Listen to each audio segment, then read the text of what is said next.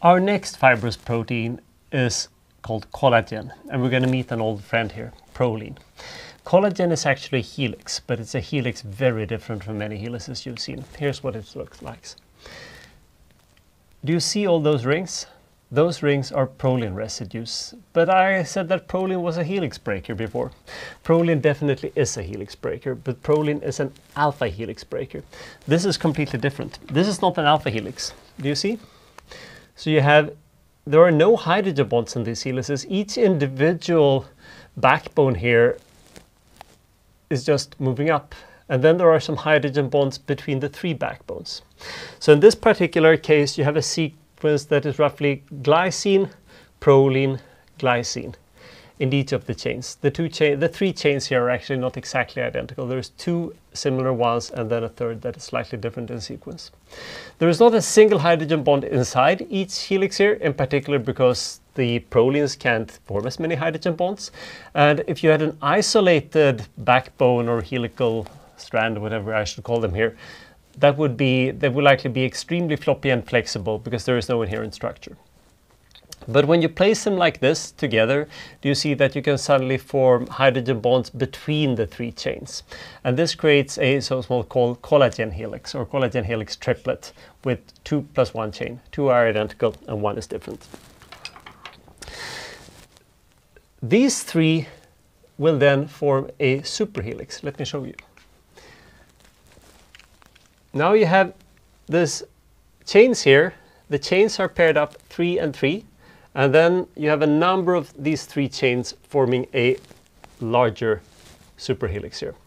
This is a recurring theme. We already saw that when we talked about, I talked, uh, told about supersecondary structure, tertiary structure, right? That we make sense of things by organizing it hierarchically.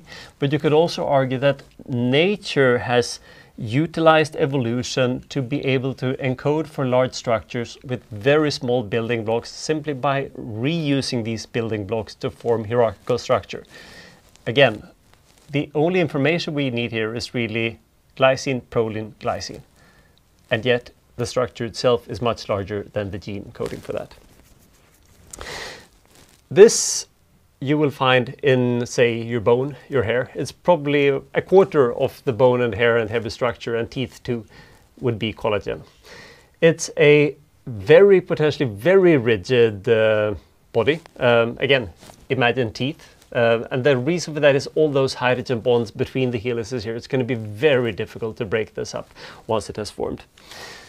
That individual triple helix might be ballpark of one and a half nanometer wide or so. Um, this would probably be, what could it be, four nanometers or so. The length of this one would be, well, up maybe 500 nanometers or so. So it's very, very long, far longer than I'm showing you on the slide here.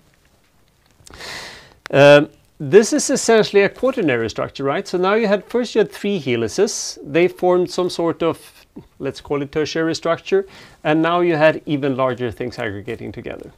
Even these are going to aggregate together because 4 nanometers is not a whole lot. They're going to aggregate together in larger and larger fibrils and protofibrils and everything to form things all the way until we start seeing them in, say, in an electron microscope. This is a piece of dentin, which is a collagen-rich material in your teeth.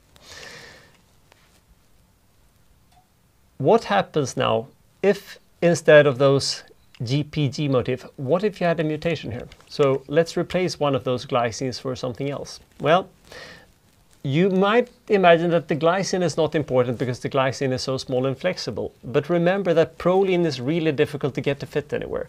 So we need those glycines in the collagen helix to be able to fit the proline um, so that they depend on each other. But if we're now replacing at least one of those glycines with something else, we will not be able to form as many hydrogen bonds here, or at least this will not be quite as efficiently packed and the hydrogen bonds will not be as strong. The free energy of it is not going to be as good. So that will mean that these structures that in the wild type, without the mutant, were so strong and nice and rigid, they're now going to be able to break. And that happens. It's called brittle bone disease. So again, brittle bone disease is caused by one mutation in collagen, turning one of your glycines into an X. So we said turn glycine into an X. that means that we're breaking the beautiful regular pattern. So even glycine per se is flexible, but you need the flexibility for proline to form the strong structure. And surprisingly, if we were replacing, say, glycine with alanine, which in theory you might think is more rigid, the structure itself is going to go in the opposite way because now we can't pack it. It's going to be less rigid and it's brittle bone disease. It's not really a whole lot we can do about it. Um, today, sometime in the future, we might be able to do uh, gene technology and basically replace these genes in your body. I'm going to talk a little bit about that when we talk about drug design. Um, but there are very few examples with this work today. There are, there are a handful of exceptions, but in general, it's going to be in the future. We can't change genes systematically and repeatedly in your body yet.